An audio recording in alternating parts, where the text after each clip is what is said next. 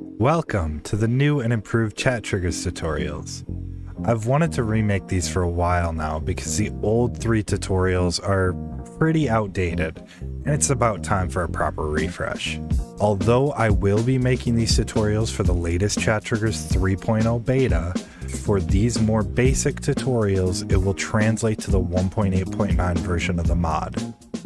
You can find chat triggers over at chattriggers.com and the beta either directly from the GitHub or you can grab it over on Modrinth. You will need to install the proper mod loader for the version that you want to use beforehand. The links for everything will be down under the like and subscribe button in the description.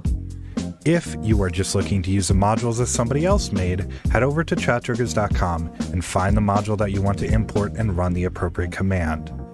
This tutorial's over for you, so go and have fun. If you are a little bit more adventurous and want to learn how to create your own modules, let's get started. All right, to start, we are just going to run CT files, which is going to pull up our modules folder. And from there, we can create a new folder with the name of the module we're going to create. Now that we got your text editor of choice open up, I prefer VS Code. We're going to create a new file called metadata.json. This file is going to tell basic information about the module that we are creating, but for now, all we care about is our entry. So we're going to specify the entry as index.js. Go ahead and save that. Create a new file for index.js and here's where our actual code is going to be. From here, we're going to register a new chat trigger, define a function, and we will set the criteria. Let's go ahead and grab some chat from the game. So we can run CT dump to get a copyable message. So we'll copy that add that to our chat criteria. You can see that it copied the color codes as well. We can go ahead and change those to ampersand.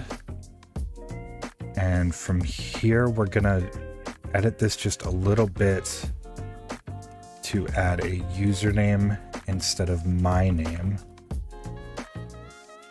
And this is how we define a basic variable in the criteria. We're going to do the same thing with the message. So these are going to be passed along to the function that we defined up here, this arrow function.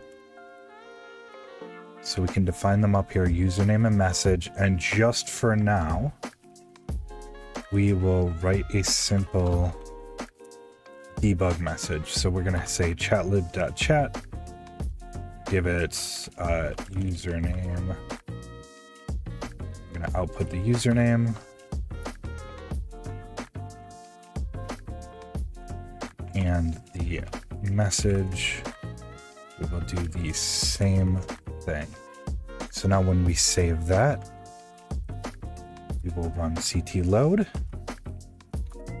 And now when we type hi, we can see our debug message. So here you can see that I added a little bit of JavaScript now. I added this event at the end of the arguments. So the chat event is always going to be the last argument that comes through. We're going to check the username, check the message. We'll cancel the event if those match, and we're going to replace it with our own message. So now if Zombie, who is my friend, we'll go test this on him in a little bit um, says no in chat, it will replace his chat message with yes. So let's go give it a try. Okay, so now that we have that loaded into the game, we'll hop in the realm. Hopefully he is on. He is on. Okay, so I will send him a question that I know he's going to answer.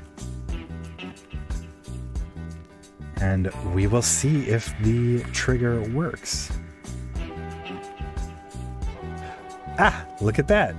So it replaced the chat message and it totally worked. So now you know the basics of getting started with chat triggers. All right. I hope you enjoyed. We'll see you for the next tutorial.